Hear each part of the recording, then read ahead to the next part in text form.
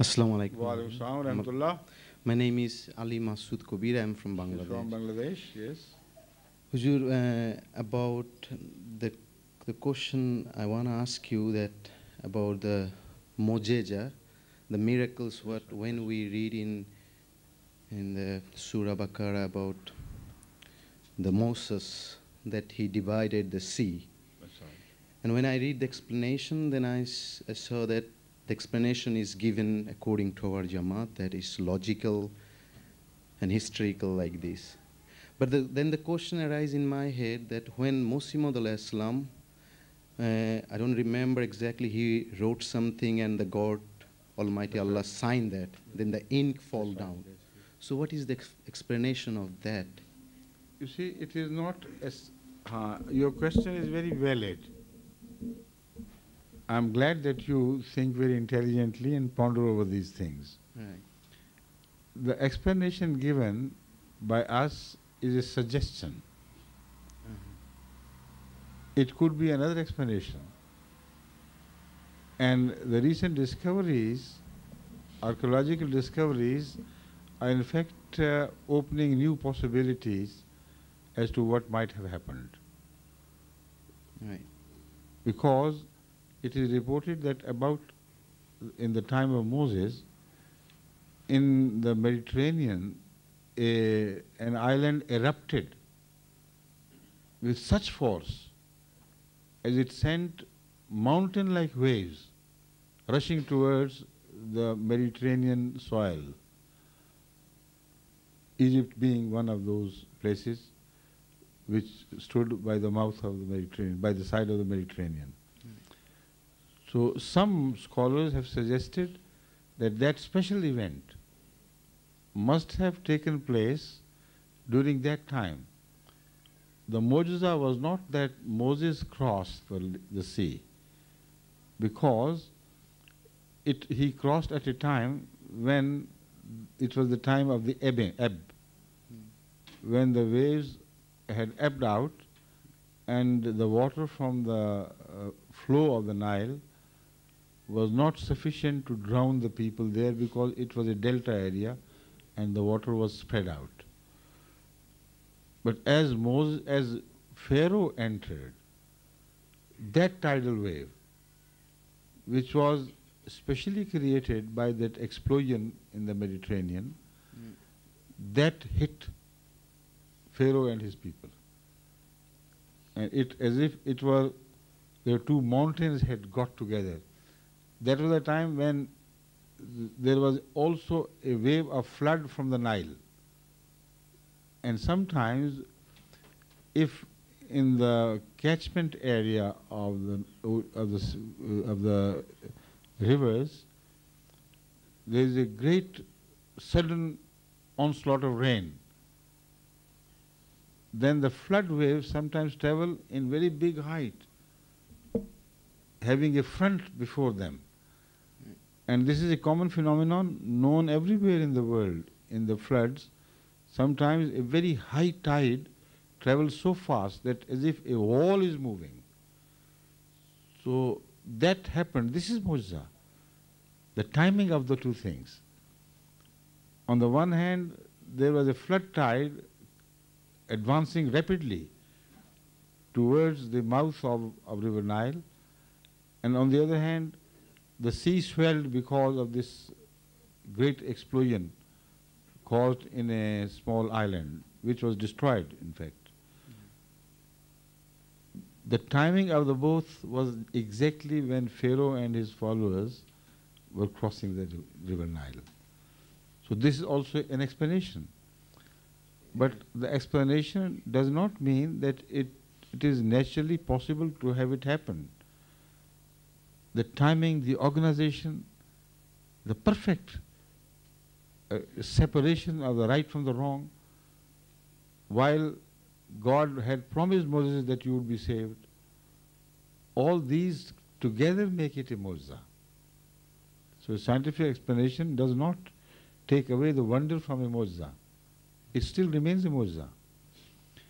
Now, the mu'jiza which you mentioned about Muhammad Wasalam is something which happens rarely, but does happen. and it happens not as a sign of truth to the non-believers. It always happens within the community of the believers. So this is what should be remembered. Such mujizat as are freaks of nature, which we cannot understand, they are never presented to the enemies. They are shown within the community of the believers. Like Hazrat Muhammad Rasulullah is reported to have invited the entire participants in the jihad of uh, um, that uh, Ahzab, when Ahzab had got together, and the Muslims were around uh, how many thousand? Three, seven thousand or less? No, they were less in number. Anybody remembers?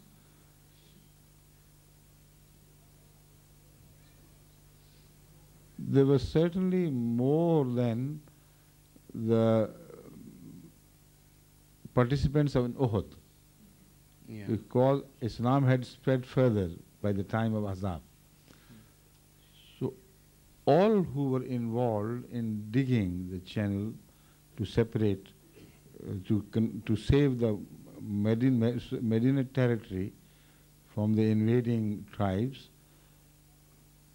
Hazrat Rasulullah was once invited during those, those days when hunger was striking hard at them by some devout companions of Hazrat Rasulullah whose wife had slaughtered a goat Mm. and had cooked some rice and things and she sent her husband to Rasulullah and conveyed, it was not rice, it was the bread uh, which was she was cooking.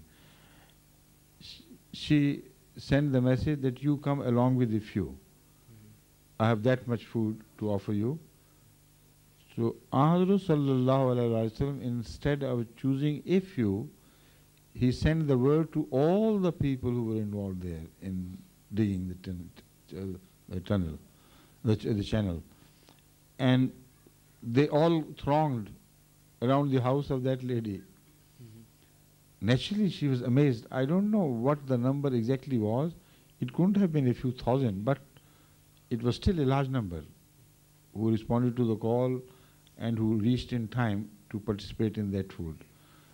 Rasulullah told her to cover the cauldron where the something was cooked, good meat was cooked, and cover that we call parat, you know, that uh, dish Right. where uh, flour, kneaded flour was kept with some cloth. And he prayed over it and said, now start cooking the bread and distributing the food. And very authentic reporters tell us that they kept on distributing the food and neither the needed flour ended nor whatever was cooked by of meat in the cauldron finished until everybody was fed.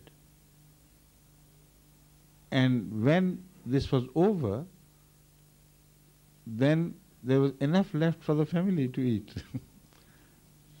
now, this is something which is not presented for the non-believer's eyes. Such mujizat take place only to increase the faith of those who have already believed. Because about the mujizat, the, such mujizat, the Holy Quran says, never have people benefited from mujizat. When have they? Mo- Ph- Pharaoh and his people, despite seeing so many mujizat, still rejected the truth, and it all happened also at the time of Jesus Christ. He is known to have shown many mujizat, but how many could he convert? Thirty? At most, Yeah. two of which had renegated, of course. So this is the s- nature of mujizat. There is some mujizat are called, called khawariq adat. They're freak of nature. They're in breach of appar- apparent breach, not real. Apparent breach of the laws of nature. Such mujizat took take place not for the enemy's eyes, but for the eyes of the believers. And this is the Mosa which you have mentioned is just one of those. So Huzur, you see, on, th- on that point, the problem comes. One of my friend, I gave him say, the books from that's our right, from yes. Muslim Islam. So he he told me that he believed Muslim al Islam.